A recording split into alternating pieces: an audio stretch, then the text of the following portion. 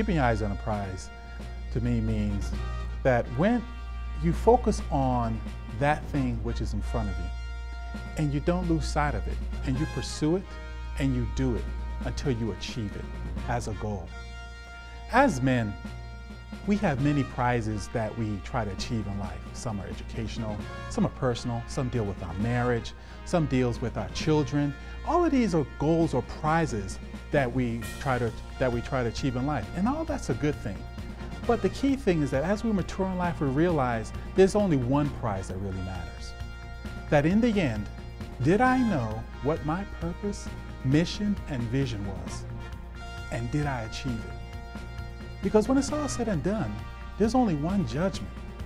Either, well done, good and faithful servant, or depart from me, ye work of iniquity.